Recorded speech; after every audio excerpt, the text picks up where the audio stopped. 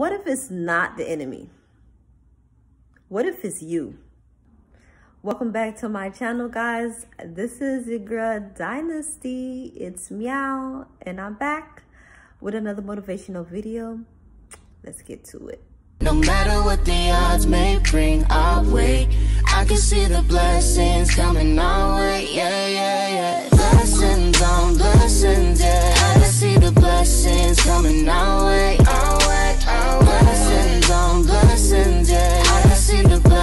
blessings coming our way. I can't the. We're gonna dive in into the book of Jonah. So go ahead and meet me in the book of Jonah. Let's get to it. One day the Lord told Jonah, Go to the great city of Nineveh and say to the people, The Lord has seen all your sins, you are doomed. Instead, Jonah ran from the Lord.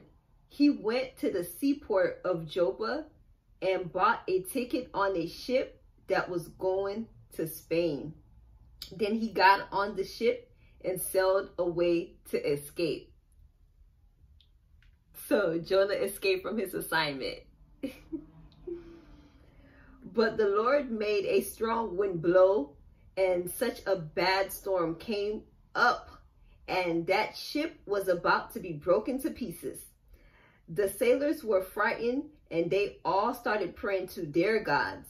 They even threw the ship's cargo overboard to make the ship lighter.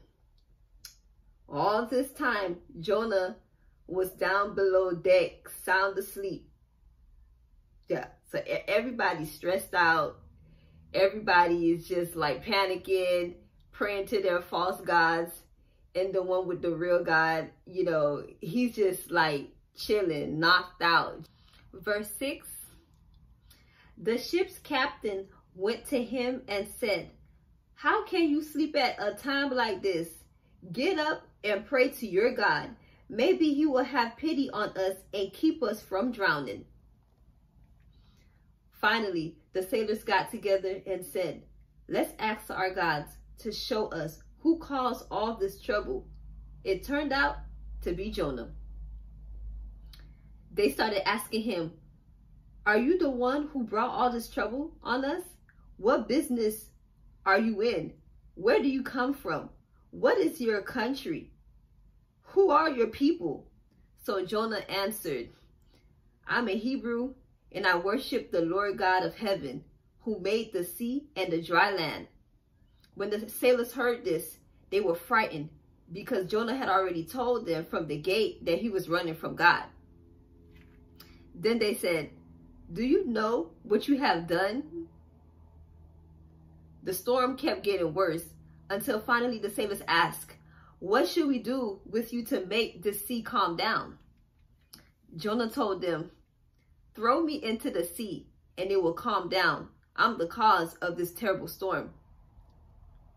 Okay, so they didn't want to throw him, you know, into the sea like that. But he knew that he was the cause of the storm. And he did not want, you know, everybody else to suffer because of his lack of obedience, you know, to the Lord. So he was just like, yeah, throw me into the sea. I am going to be all right. If I drown, I drown. If I die, I die. Like, he was just like, okay, you know, that. I, I don't know. I could not have been Jonah. so now they about to throw Jonah into the sea. But they, they really didn't want to. They was like, they were all like, Lord, please, please don't make us pay for taking this man's life. He a cool dude we wouldn't even have to throw him into the sea if he wasn't the cause of the storm. So they threw him into the sea. The storm immediately calmed down. Next thing you know, a whole fish, a whale, swallowed Jonah for three days and three nights. Listen, I, I wouldn't, I'm so scary, I wouldn't even let it get that far. I, the minute I saw the well from a distance, I, I would have been like, okay, God, okay. So where you say you wanted me to go? Oh, Nineveh? Oh, you just want me to tell them if they don't stop with their foolishness, they're going to be doomed. That's it? Okay, okay, okay, bet. We out. Let's go. We out. tell the whale to turn around, make a U-turn, because you and I figured it out. We figured it out. So after being tortured inside that well for about three days, Jonah just surrendered to God, gave him this sincere prayer, and God commanded the whale to spit Jonah out into the shore. So Jonah is finally on the shore. He's heading to Nineveh. I think it took him about three days. So he gets there, delivers the message. The people actually took the message seriously. And the leaders were telling everybody, uh, let us not eat, uh, uh, make sure we wear burlap sack. As a matter of fact, the, the animals can't eat either and put burlap sacks on them too. And they stopped doing wickedness. The Lord saw that they were changing their wicked ways and he decided to change his mind and not let destruction come upon them. So when Jonah realized this, you won't believe this man got in his in his feelings. Like Jonah got into his feelings. Like, you know, they had like an interesting relationship. Like any little thing God did, any decision God made, Jonah for some reason was always in his feelings. And I, I, I don't know, I found that weird, but that's not the point. The question is, where are we in life? what did God call us to do? Where did he tell us to go? Are we at the right place at the right season? Are we with the correct spouse? Are we in the correct school? Are we in the correct ministry? Did we even start the ministry that God wanted us to start? Are you in the right church? Did you get confirmation from him? Who's on your boat that have no business being in there? Are you on the right boat? Do you know where you're headed? Maybe that's why storms are happening around you. That maybe that's why chaos is is amongst you because you're not where you're supposed to be. The Lord wanted me to read the book of Jonah. And I read it twice. And he let me know that some cases it's not the enemy. It's just our disobedience. He tells us what to do. He instructs us. He gives us like certain assignments. But we choose to take our own path.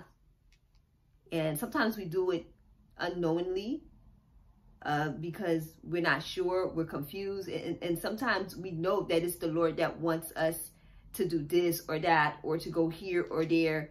And we just like know that once we get back on the correct assignment, once we go where the Lord tell us to go, do what he tell us to do, he will command the storm to calm down. May the Lord redirect you to your correct destination. May you be on time for every season that God has ordained for your life. May the Lord give you supernatural boldness, not only to face your assignments, but to complete them in Jesus' name. All right, so this concludes Motivational Monday. I decree and declare that you will have a good day, a good week, that this is your season. You will have an encounter with the Lord, and He will give you revelation, clarity. Everything that you need is in Him. So go in peace and know that the Lord is with you.